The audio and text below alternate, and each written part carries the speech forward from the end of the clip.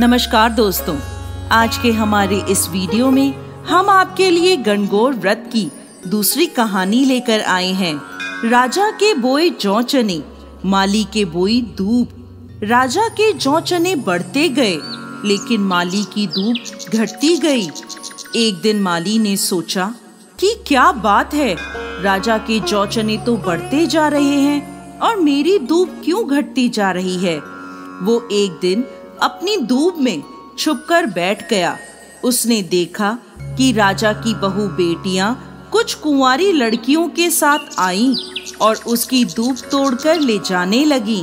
तो उसने उनकी ओढ़नी पकड़ ली और पूछने लगा कि तुम मेरी धूप क्यों ले जा रही हो?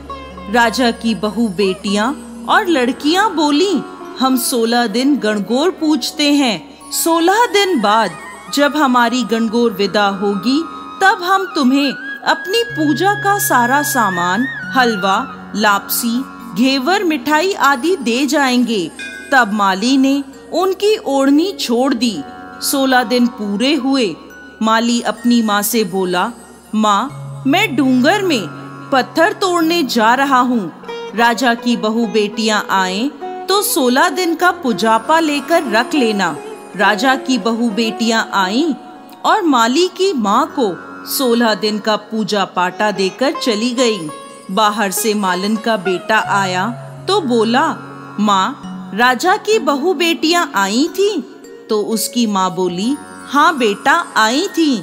फिर वो पूछने लगा, क्या देकर गई? मालन बोली, बेटा, वो बहुत सारा खाना देकर गई हैं। रसोई में रखा है। बेटे ने जब रसोई खोली तो उससे रसोई नहीं खुली। तब उसकी माँ बोली, बेटा, रसोई नहीं खोल पा रहा, पराई जाई कैसे ढाबेगा? बेटा बोला, माँ, पराई जाई तो ढाब लूँगा, लेकिन रसोई नहीं खुल रही। तब माँ ने आकर चिंटी उंगली से छीटा दिया तो रसोई झट से खुल गई।